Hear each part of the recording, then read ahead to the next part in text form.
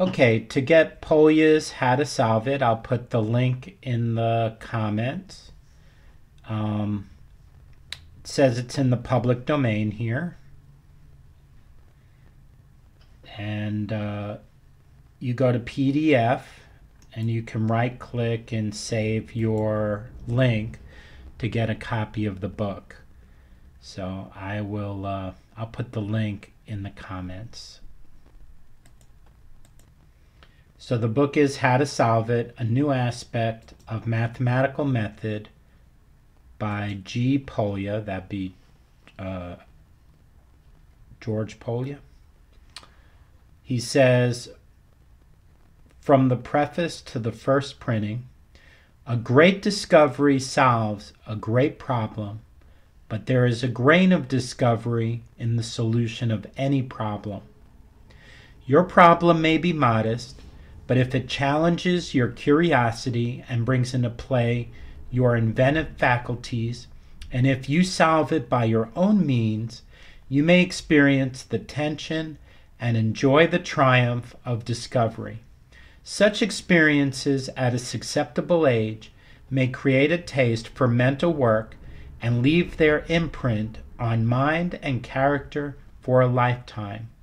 Thus, a teacher of mathematics has a great opportunity if he fills his allotted time with drilling his students in routine operations, he kills their interest, hampers their intellectual development, and misuses his opportunity.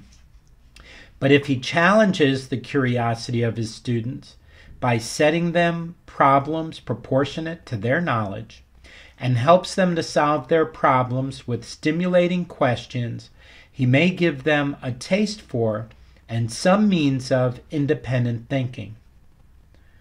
Also, a student whose college curriculum includes some mathematics has a singular opportunity.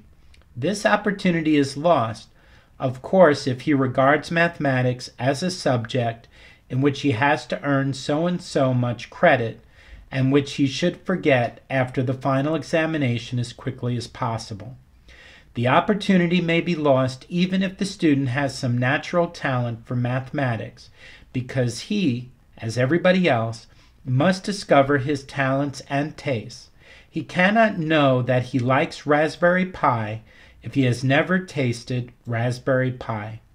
He may manage to find out, however, that a mathematics problem may be as much fun as a crossword puzzle, or that vigorous mental work may be an exercise as desirable as a fast game of tennis. Having tasted the pleasure in mathematics, he will not forget it easily, and then there is a good chance that mathematics will become something for him a hobby or a tool of his profession, or his profession or a great ambition.